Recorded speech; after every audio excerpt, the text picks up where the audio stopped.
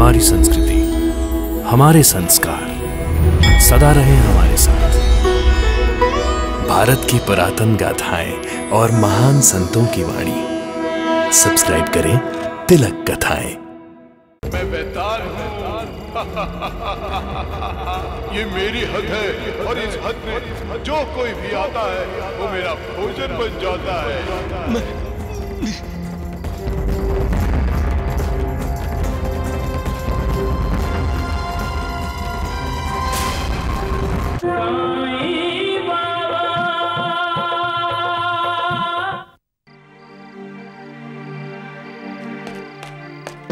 भैया दरवाज़ा खोलिए भैया। आ रहा हूँ भैया? आ रहा हूँ। अरे बप्पा तू यहाँ इतनी रात गए? भैया आप जल्दी से मेरे साथ चलिए। क्यों? कहा? वो मेरे घर वो मानसी की त... मानसी? क्या हुआ मानसी को? पहले बुखार आया अब उसकी जांग में प्लेग की तरफ़ दो गिलेटियाँ हो गई भैया। भैया आप ही मेरा सहारा है। मेरी पत्नी को बचा लीजिए भैया बचा लीजिए। मैं उसके बिना नहीं जी सकूँगा भैया। अरे नहीं बप्पा नहीं। उसे कुछ नहीं होगा। साईं बाबा की कृपा से सब ठीक हो जाएगा। हम साईं बाबा के पास चलते हैं हैं? चिंता मत करो बप्पा चलो। चलो चलो। रमते राम आओ जी आओ जी। उदिया लेने आओ जी आओ जी। रमते राम आओ जी आओ जी। उदिया लेने आओ जी आओ जी साईं बाबा? राम। माधवराव इस वक्त? आओ क्या बात है श्यामा? इतनी रात हो गए तुम सोए नहीं? साईं बाबा हमारी तो रात की नींद ही उड़ गई है। ये ये मेरा छोटा भाई है। हाँ हाँ। मैं जानता हूँ श्यामा।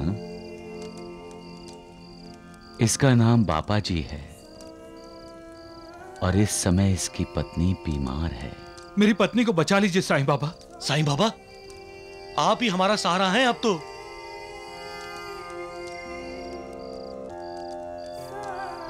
उसे कुछ नहीं होगा श्यामा।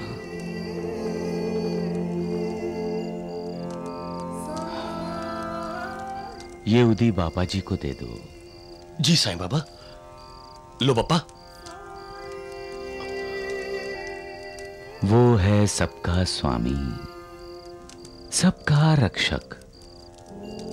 उसकी कृपा से इसकी मानसी ठीक हो जाएगी। आपकी आज्ञा हो तो मैं भी बापा जी के साथ जाऊँ साईं बाबा? नहीं इस वक्त नहीं। कल सुबह जाना और जल्दी लौट आना। सबका मालिक एक है। प्रणाम प्रणाम। चलो चलो चलो।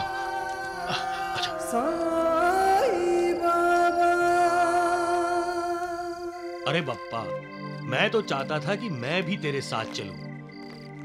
लेकिन आज तक जिस किसी ने भी साईं बाबा की बात नहीं मानी, उसके साथ कुछ ना कुछ बुरा हुआ ही है। लेकिन अब चिंता करने की ज़रूरत नहीं है। साईं बाबा ने कह दिया कि तेरी बीवी ठीक हो जाएगी। हम्म? अब तुम जाओ, मैं सुबह आऊँगा। और हाँ ये लालटेन लेते जाओ। और उस उदी को खिलाना भी और पिलाना भी। समझ गए? अब जाओ। चिंता मत करना।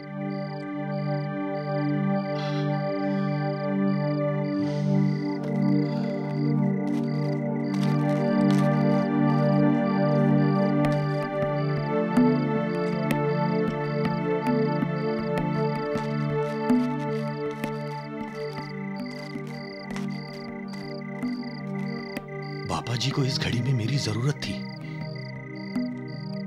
मुझे उसके साथ जाना चाहिए था। बेचारा कितनी आस लेकर मुझे बुलाने आया था। नहीं, यह गलत बात है। मुसीबतों में अपने ही लोगों के काम आता है इंसान। मुझे जाना चाहिए। बाबा जी, मुझे रास्ते में ही मिल जाएगा।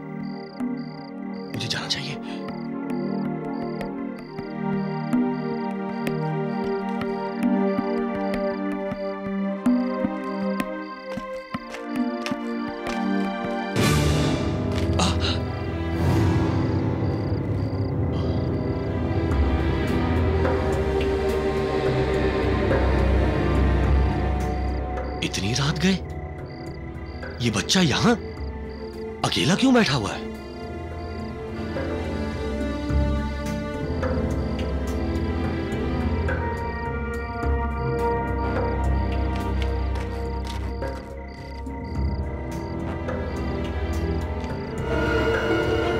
बेटे, कौन हो तुम?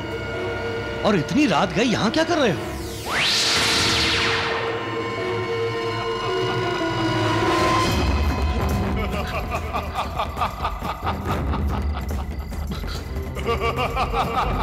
मुझे नहीं पहचाना तुमने। मैं बेताल हूँ। ये मेरी हद है और इस हद में जो कोई भी आता है, वो मेरा भोजन बन जाता है।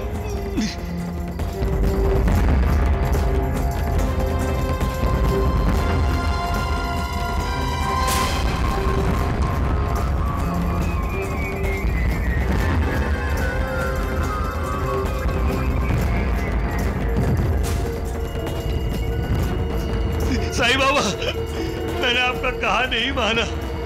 ये उसी की सजा है। मुझे बचाइए।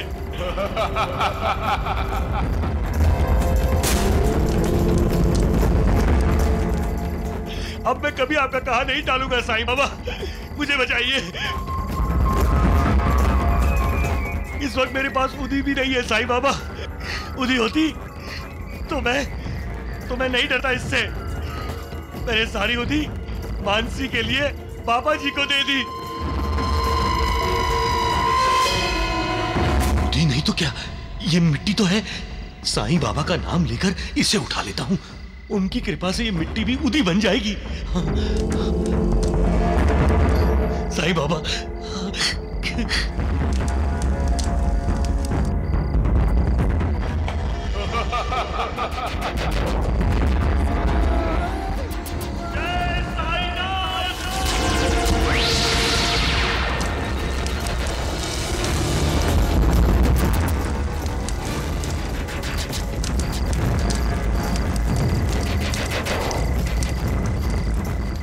साईं बाबा साईं बाबा साईं बाबा साईं बाबा।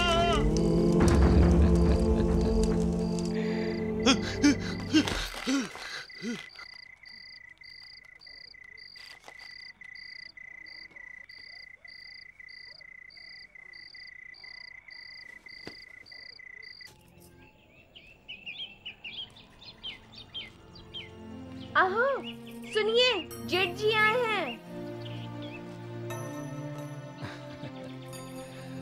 साईं बाबा ने भैया को हमारे घर आने को कहा था। आइए भैया। काय रे बप्पा? मानसी अरे तुम तो बीमार थी ना? कल रात ही को तो इसकी बीमारी ठीक हुई है भैया। और आप आइए तो। हाँ। बैठिए।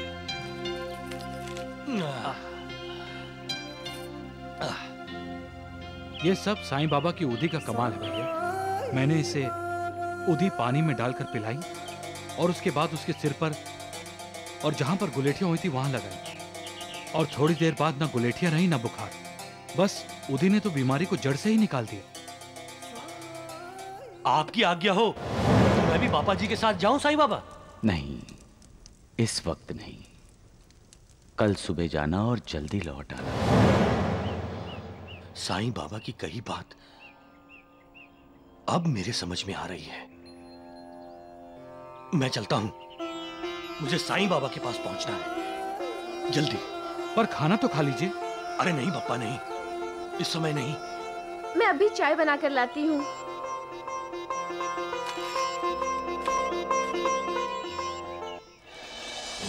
साईं बाबा। साईं बाबा। आओ श्यामा आओ आओ। ते आए बेताल को मुक्ति हाँ? क्या हुआ? नाराज़ हो मुझसे? हाँ।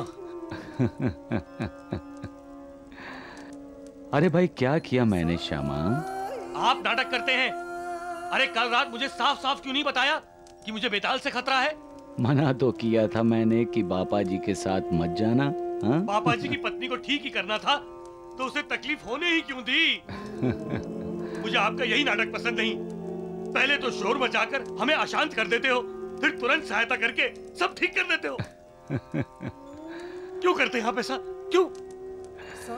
समझदार हो गए हो श्यामा। फिर भी ना समझ बन रहे हो। नहीं साईं बाबा नहीं। मैं समझदार नहीं हूँ। कुछ ज़्यादा ही ना समझ हूँ मैं। मुझे आपकी ये लीला समझ में नहीं आती। श्यामा कर्मों का फल तो हर किसी को भोगना ही पड़ता है। कर्म पथ तो बहुत रहस्यपूर्ण है। मैं कुछ नहीं करता। फिर भी लोग अपने कर्मों के लिए मुझे दोषी ठहराते हैं। मैं तो एक दर्शक मात्र हूँ। सत्ताधारी और प्रेरणा देने वाला तो वो ईश्वर है। और वो बहुत दयालु है, बहुत दयावान है। मैं ना तो ईश्वर हूँ, ना मालिक। सिर्फ़ ईश्वर का आज्ञाकारी सेवक हूँ मैं। और हमेशा उनका स्मरण करता हूँ। जो भी अपना अहंकार त्याग कर, कृतज्ञता से उन पर विश्वास करेगा, उसके कष्ट दूर हो जाएँगे। और उसे मुक्ति प्राप्त होगी। नहीं। ना। नहीं साईं बाबा। मुझे मुक्ति नहीं चाहिए। सिर्फ़ आपके चरणों में जगह चाहिए मुझे। जगह चाहिए। सबका मालिक एक है।